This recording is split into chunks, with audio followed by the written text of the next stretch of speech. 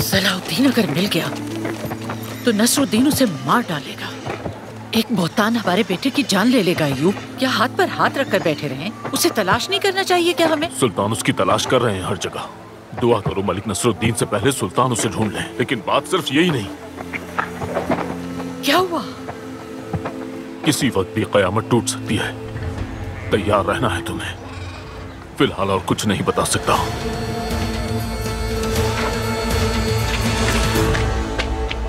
तुम जानती हो तुम्हारा वो पागल भाई क्या करता फिर रहा है? उसने मेरे सिपाहियों की आँखें निकाल ली और धमकी दी है मुझे। सिपाहियों की आँखों का अफसोस हुआ। मगर तुम्हारे साथ होता तो बात भी थी। मैं तुम्हारे उस जंगली भाई को अपने घोड़े के सुमो तले रौंद सकता हूँ जब मेरा जी चाहे। लेकिन सलाहुद्दीन को ढूंढना है मुझे। मेरा बेटा वो एक खूनी खेल में घिर गया है इस्मत मैं उसकी तलाश में जा रहा हूँ। मैं मुश्किलों में घिरा हुआ हूँ इस वक्त। जिद से बाज आ जाओ खुदा के लिए। जो लोग तुम्हारे जेरे कमान हैं, उनसे कहो, पीछे हट जाए, और तुम्हें यहाँ से जाने दूँगा। कितने वादे किए थे ना बरसों पहले मुझसे। दमश्क की हसीन शाम देख के यादें तुम क्या कहा करते थे? सुनो, हम दोनों भी अपने दिलों का एक शहर बसाएँगे। तुमने वो शहर बसने से पहले उजाड़ दिया। और मुझको तनहा छोड़ दिया। और अब मुझे यहाँ लाए भी तो कैदी की तरह। क्या तुम्हारे आगे सर झुकाऊँगी मैं?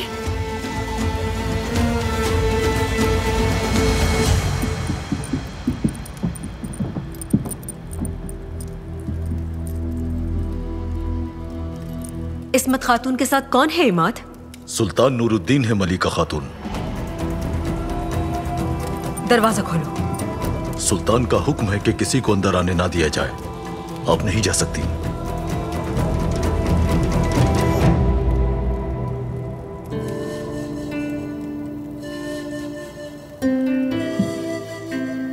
तुम मुझे एक बार न समझने की गलती कर चुकी। दोबारा मत करना आप। तुम खुद हो तुम्हारे यहाँ रहने की वजह। तुम मेरी मर्ज़ी से नहीं आई यहाँ।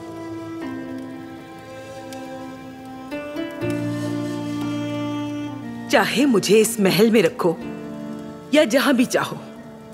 जो कुछ हमारे दरमियान है बदलेगा नहीं।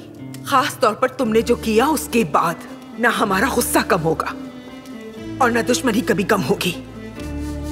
ऐसे में जब बेटे की परेशानी है मुझे तुम मेरी पीठ में छुरा घोप दोगी क्या? पीठ में छुरा घोपने की महारत तो तुम्हें हासिल है। बस बहुत हो गई। नहीं हुई। मैंने कहा था अगर सिर्फ़ मेरी जात होती तो मैं कुछ भी खुशी खुशी सह जाती। लेकिन तुमने ना सिर्फ़ मेरा कबीला, बल्कि दूसरे कबाइल को भी दुख दिया जिन्होंने तुम पे एतबार किया। चाहे मुझे बरसों तक यहाँ रुकना पड़े, हार नहीं मानूँगी तुमसे।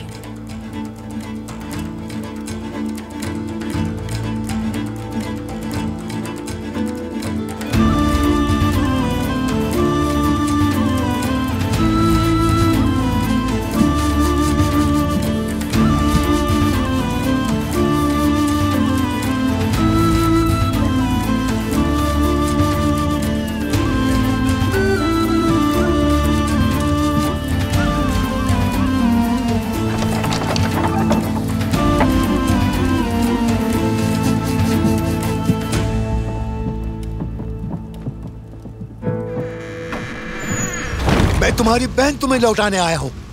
तो मैं भी तो अपनी बहन को बचाने जा रहा हूँ। वो नूरुद्दीन जंगी अपने किए की कीमत अपने कटे सर से अदा करेगा। तुम सुल्तान नूरुद्दीन का कुछ नहीं बिगाड़ सकते और ना ही इसमत खातून को उससे बचा सकते हो। आप हमारी बहन को वहाँ से कैसे छुड़ा कर लाएँगे? तुम्हारा हदफ सुल्तान नूरुद्दीन नहीं सलाहुद्दीन होना चाहिए। सलाहुद्दीन ने मलिक इज्जुद्दीन को मार डाला। हर एक उसे तलाश कर रहा है। अपने सिपाहियों को फ़ौरन उसकी तलाश में निकाल दो। उसे पकड़ो और मेरे हवाले कर दो। बदले में इसमत खातून तुम्हें मिल जाएगी। नूरुद्दीन जंगी ने ये कहा है मेरे काराते गिन जाओ मेरे बेटे को ढूंढ कर ले आओ तो मैं तुम्हारी आपा लौटा दूँगा तुम्हें। भेड़िए को गीदड़ बेवकूफ़ नहीं बना सकता। ये सुल्तान नूरुद्दीन नहीं हमारी ख्वाहिश है। तुम्हारे सामने इस वक्त मजलिस दीवान का अमीर है। सलाहुद्दीन सिर्फ़ एक भगोड़ा है। क्योंकि सलाहुद्दीन को पकड़ना सुल्तान नूरुद्दीन से इंतकाम लेने की नस्बत ज़्यादा आसान होगा। इसमें तुम्हारा और तुम्हारी बहन का ही फ़ायदा है। वरना तुम शिकारी के बजाय खुद शिकार बन जाओगे।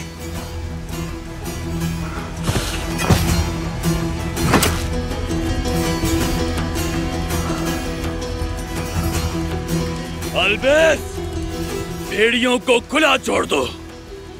सलाउद्दीन का शिकार करना है।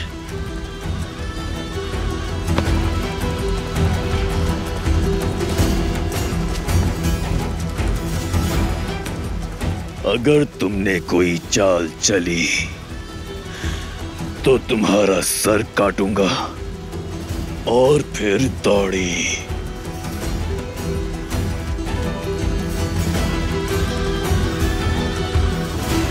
क्या हो रहा होगा वहाँ? कारातगिन रेहानी की बात नहीं मानेगा वही करेगा जो उसका दिल चाहे। आपने तो कहा था वो हमें पकड़वाने के लिए दूसरों के साथ साजिश कर रहा है। यानी?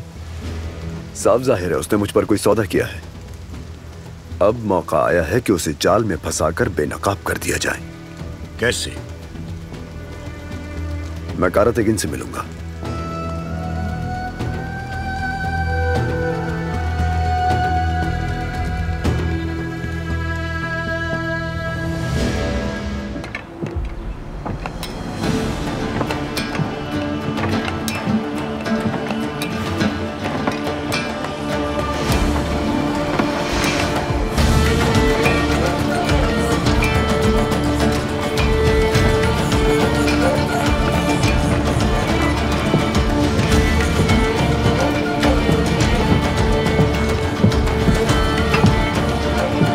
अंदर आ सकता हूँ अमीर। मेरे पास सलाहुद्दीन की एक खबर है। आ जाओ।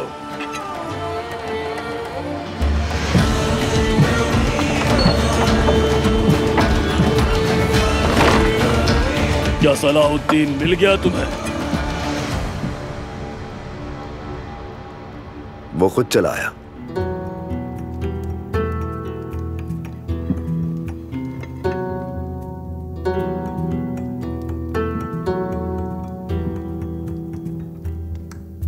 तुमने भेड़िए के भिट में घुस के उसकी घात लगाई।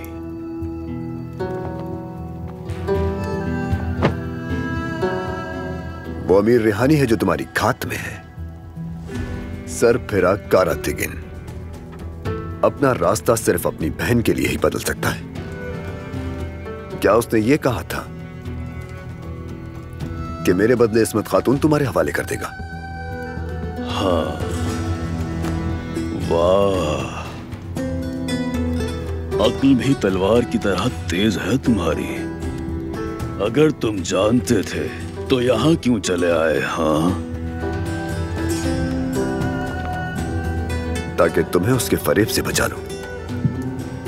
और उस गद्दार का शिकार उसी के तीर से कर लूँ। तुमसे रिहानी के इस सौदे की नूरुद्दीन जंगी को खबर तक ना होगी। उसकी गद्दारी का यह सबूत काफ़ी है। मैं अपनी बहन उनसे लूँगा और बदले में तुम्हारा सर उन्हें दूँगा। बाकी मुझे किसी चीज़ से कोई दिलचस्पी नहीं। होनी चाहिए। रेहानी एक फिदाई है। तुम्हारे सरदार के कत्ल में उसी का हाथ है। इज्जुद्दीन के कत्ल में फंसा लिया उसने मुझे। और अब जब वो यहाँ आएगा उसको किसी जाल में फंसाकर उसकी गद्दारी हमें आश्कार करनी है। इत्तेहाद। है ना? हाँ, नूरुद्दीन जंगी की तरह हो बिल्कुल। वो भी इत्तेहाद की बातें करता रहता है हर वक्त। और उसके बावजूद हमारे कबीले पर हमला कर देता है। मेरी बहन कैद कर लेता है। और फिर मुझे मजबूर बेबस करके मेरे कबीले के सामने मेरी बेइज्जती करता है। तुम्हारी एक जबान नहीं जितनी है सारी काट देनी चाहिए।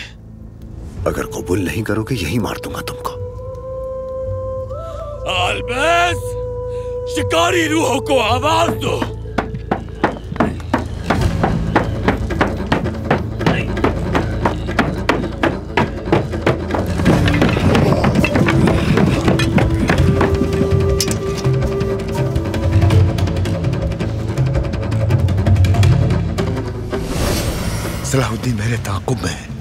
सकता है वो हमारी मुलाकात के बारे में जान गया हो।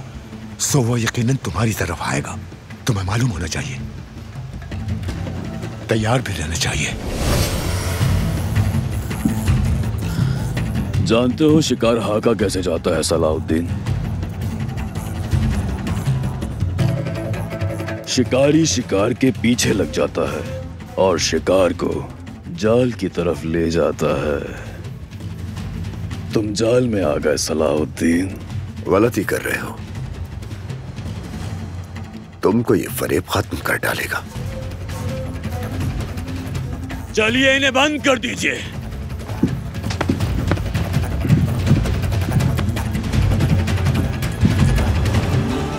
तो ये तुम्हारा बिछाया हुआ जाल था हा? मैंने ही बिछाया था। और तुम इसमें आप फंसे हो।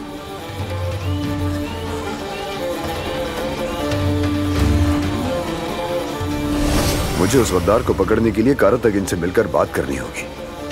उससे बात करने का कोई फ़ायदा नहीं वो बातों का आदमी नहीं। अगर ऐसी बात है तो वो रिहानी के लिए मुझे ज़रूर गिरफ़्तार करेगा। तब तुम्हारा काम शुरू होगा। रिहानी के वहाँ आते ही मुझे आज़ाद कर देना। तुमने कारातगिन को अपने मंसूबे में शामिल किया। कि अगर ये मुझे तुम्हारे हवाले कर दे तो तुम इसमत खातून को महल से छुड़ा लाओगे। मैं बहैसियत अमीर रियासत। एक शहजादे के कातिल को पकड़ने यहाँ आया हूँ। सिपाहियों, गिरफ़्तार कर लो।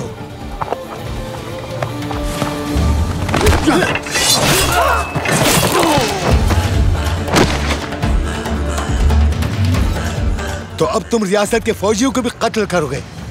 ये रियासत के फौजी नहीं है। ये फिदाई कातिल है तुम्हारे।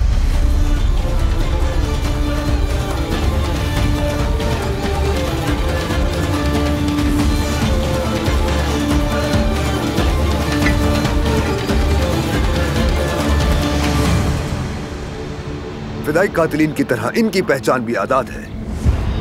ये अपने हथियारों पर ये आदात कंधा करते हैं। क्या तुम्हें लगता था कि मैं नहीं समझ पाऊँगा?